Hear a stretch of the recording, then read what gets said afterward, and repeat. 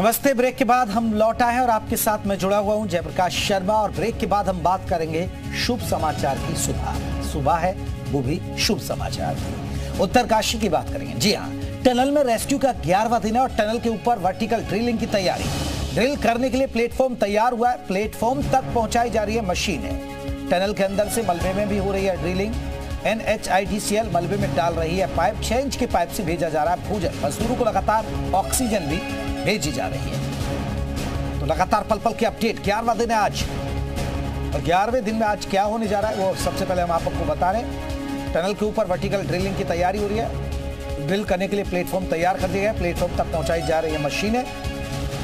Tunnel के अंदर मलबे भी हो रहे हैं।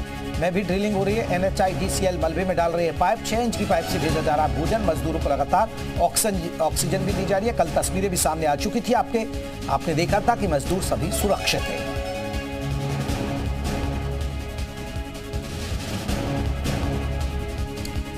ड्रिल करने के लिए प्लेटफॉर्म तैयार, प्लेटफॉर्म तक पहुंचाई जा रही है मशीनें। सिल्क्यारा टनल में?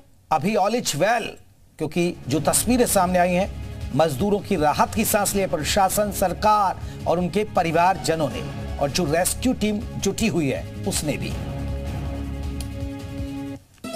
तो ड्रिल करने के लिए तमाम, देखिए, सामान आप देख सकते हैं, तमाम मशीनें आप देख सकते हैं। माना जा रहा है कि अगले 24 से 48 घंटे में शुभ समाचार मिल सकता है। दसवें दिन टनल में फंसे मजदूरों की तस्वीर सबसे पहले आपने जी मीडिया पर देखी भी होंगी। वीडियो में सभी मजदूर सुरक्षित दिखाई दिए। फ़िलहाल हॉरिजेंटल ड्रिलिंग का काम जारी है। 900 सौ mm के पाइप के अंदर 800 सौ mm की पाइप डालने का काम किया जा रहा है और माना जा रहा है कि अगले 24 से 48 घंटे बड़ी खुशखबरी सामने आ सकती है। पीएम मोदी ने भी पूरे हालात पर नज़र बनाए हुए पीएम मोदी लगातार दूसरे दिन सीएम धामी को फ़ोन कर ऑपरेशन की जानकारी दी। तो कल भी आपको बता दें कि पीएम मोदी ने जानकारी ली सीएम धामी से बात की कि ऑपरेशन में क्या कुछ अपडेट है, ये पूरी जानकारी ली। कोई मदद की भी अगर बात आती है तो केंद्र सरकार हर संभव मदद करिए, क्योंकि केंद्र सरकार की टीमें, बहुत सारी टीमें लगी हुई हैं। केंद्र सरकार के अधिकारी लगे हुए हैं, लगातार मंत्री दौरे पर हैं। लगातार पुष्कर सिंह धामी भी दौरा कर चुके हैं। बैठकों का दौर चल रहा है और लगातार इस केस पर मॉनिटरिंग चल रही है, क्योंकि इकतालीस मजदूरों की जान का सवाल है और उसके लिए हर हाल में उनको निकालना है। ये कैमरे के ज़रिए जो तस्वीरें सामने आई थी, वो हम आपको दिखा भी रहे हैं।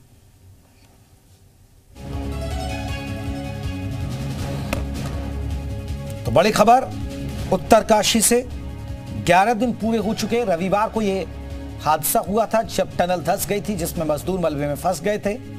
जो 41 मजदूर काम कर रहे थे। ये दिवाली से एक दिन पहले की बात है। तब यह हादसा हुआ।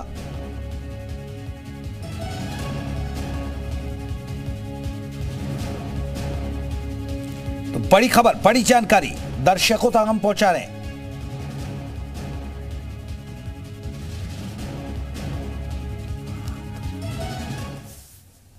चलिए हमारे साथ, हमारे सहयोगी रामानुज और ज़्यादा अपडेट के साथ जुड़ गए। रामानुज ग्राउंड ज़ीरो पर क्या कुछ अपडेट चल रही है? क्योंकि 11 दिन गुजर चुके हैं और उम्मीद है कि शुभ समाचार जल्द मिलेगा। जयप्रकाश, रेस्क्यू ऑपरेशन का आज ग्यारहवा दिन है और आज को बड़ा दिन भी कह सकते हैं। और अपडेट भी आपको बताते हैं, बड़ा दिन क्यों कह सकते हैं, इसके लिए भी आपको बताते हैं। सबसे पहले आप यहाँ के ग्राउंड ज़ीरो की तस्वीर देखिए, टनल की, और इसके बाद आपको जवाब देते हैं। देखिए जो कल से ऑगर मशीन चल रही है 800 सौ mm की, ये बताया जा रहा है कि तकरीबन 35 मीटर तक वो मलबे में ड्रिल कर चुकी है और जो अधिकारियों ने जानकारी दी थी 22 मीटर से लेकर के 40 मीटर तक का किसी तरह का अवरोध आ सकता है। अब सबकी प्रार्थना यही कि अगर 35 मीटर पूरी पाइप जा चुकी है तो केवल अब ये समझिए कि सात मीटर अगर किसी तरह की कोई रुकावट नहीं आती तो इस सात मीटर के बाद कभी भी किसी भी क्षण एक ब्रेक थ्रो मिल सकता है, एक अच्छी खबर मिल सकती है और उसके लिए आज का पूरा दिन इंतज़ार करना पड़ सकता है, ये भी है। इसलिए कि जो पाइप के पूरी ड्रिलिंग का काम चल रहा है, वो दो से ढाई घंटे एक पाइप से दूसरे पाइप को जोड़ने में लगता है तो उसमें ज़्यादा समय लगता नहीं तो पाँच मीटर की जो पाइप होती है, उस ऑगर मशीन के ज़रिए ईजिली चली जा रही है। तो ईश्वर से सबकी यही प्रार्थना है कि ये बयालीस मीटर को क्रॉस कर दे, इसके बाद शायद किसी तरह तरह का कोई बड़ा अवरोध ना आए। यही आज का सबसे बड़ा जो पॉइंट है, वो सात मीटर के आसपास का है, सात से आठ मीटर का। जैसे वो क्रॉस होगा, इसके बाद पूरी तरह से उम्मीद की जा सकती है कि अब उन मजदूरों तक पहुँचा जा सकता है। देखिए, कितनी तेज़ी के साथ में इस तरह आवाज़ आने लगती। दिन भर, रात भर इसी तरह से गड़गड़ाहट की आवाज़ आ रही है। दर्शकों की ये बता रहे हैं कि जब सुबह होती है आप देखेंगे मंदिर में सुबह के समय जो बौखनाक मंदिर है आ, आ, आ, उनका देवता का उसके यहाँ पूजा होती है, तभी या जितने भी यहाँ से श्रमिक जाते हैं, वो पहले नमन करते हैं। इसके बाद में सारा रेस्क्यू का ऑपरेशन का जो दिन का शिफ्ट होती है, उसमें काम करते हैं। तो कल से लगातार ऑगर मशीन चल रही है और सबकी नज़रें अब इसी टनल के ठीक सामने लगी हुई है कि कब वो खबर आए कि अब ये पूरा ड्रिलिंग का काम पूरा हो चुका है और ड्रिलिंग जो हो रही है, इसको हॉरिजेंटल बोलते हैं। चूँकि जिस तरह से प्लान तैयार किया गया है, इसमें वर्टिकल ड्रिलिंग है हॉरिजेंटल ड्रिलिंग है परपेंडिकुलर ड्रिलिंग है, इस तरह से। और एक तस्वीर सुबह के समय दर्शकों को ये भी दिखा दें कि जो इसमें मशीनें लगी हुई हैं खास तौर की जो मशीनें हैं, जैसे आगर मशीन चल रही है बूमर मशीन चल रही है, और इसमें एक्सीवेटर चल रही है हाइड्रा मशीन चल रही है टीएमबी मशीन चल रही है, ये तमाम ऐसी मशीनें हैं जो इसमें कंटिन्यू काम कर रही है। तो उनका पूरी तरह से ऑपरेशन चल रहा है।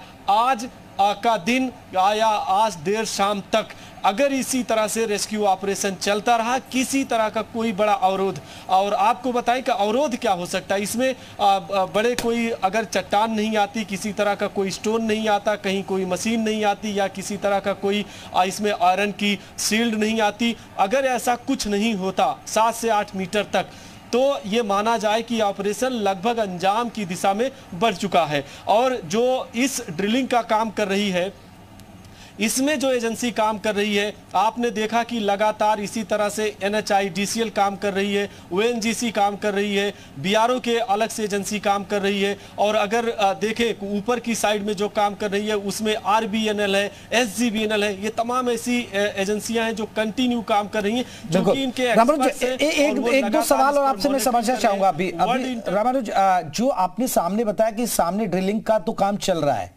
लेकिन ऊपर भी एक जगह बनाई गई थी कि ऊपर से भी ड्रिलिंग होगी, उसकी क्या अपडेट है? और दूसरा, जैसे कल मजदूरों की जो वीडियो फुटेज जारी की गई थी, जो बताया गया था कि मजदूर सुरक्षित है, आज भी मजदूरों के लिए कोई मजदूरों से बातचीत की जाएगी और उनकी कोई वीडियो फुटेज भी जारी होगी? देखिए, ऊपर वाले, आपके पहले वाले सवाल का जवाब देते हैं, तस्वीर आप देखिएगा, सवाल का जवाब देते रहेंगे। ऊपर अगर आप देखेंगे, तीसी के ठीक ऊपर 300 मीटर दूरी पर एक प्लेटफॉर्म है। बहुत ऊंचाई, काफ़ी हाइट है। और यहाँ जो बीआरओ ने रोड बनाई, उसके ज़रिए कई मशीनें जा चुकी हैं, जिसमें आरबीएनएल की है। चूँकि दो एजेंसी काम कर रही है आर एस तो जो आरबीएनएल की है, वो छोटी पाइप की ड्रिलिंग होगी, उसके लिए प्लेटफॉर्म बनाया गया मशीन जा चुकी है। उसमें अपडेट यही है कि उस उस मशीन का इंस्टॉलेशन होता है। उस मशीन को लगाने में सेट करके, फिर ड्रिलिंग का काम करने में भी कम से कम पाँच से सात घंटे का वक्त मिनिमम टाइम लगता है। तो उसका अपडेट यही कि आज अगर पूरा सब कुछ ठीक रहा तो ड्रिलिंग का काम शुरू हो सकता है एक अपडेट है। दूसरा जो आपने कहा कि मजदूरों के जो उनकी लोकेशन है उनसे बातचीत का है खाने का है उसके लिए बताएँ कि कल दो बार इंडोस्कोपी कैमरे का इस्तेमाल किया गया था। ये अथेंटिक खबर है। बिल्कुल जो आधिकारिक तौर पर आई थी। एक मॉर्निंग में की गई थी एक दोपहर के बाद में दो बार वो इंडोस्कोपी कैमरे का इस्तेमाल किया गया और ये बताया जाता है कि इंडोस्कोपी कैमरे का इस्तेमाल आज फिर करके उनके बिल्कुल उनके स्वास्थ्य के बारे में जानकारी ली जाएगी, हमारे सहयोगी बता रहे हैं, सारी अपडेट हमारे सहयोगी ने बताई। बहुत बहुत शुक्रिया रामानुज, तमाम अपडेट हम तक पहुँचाने के लिए।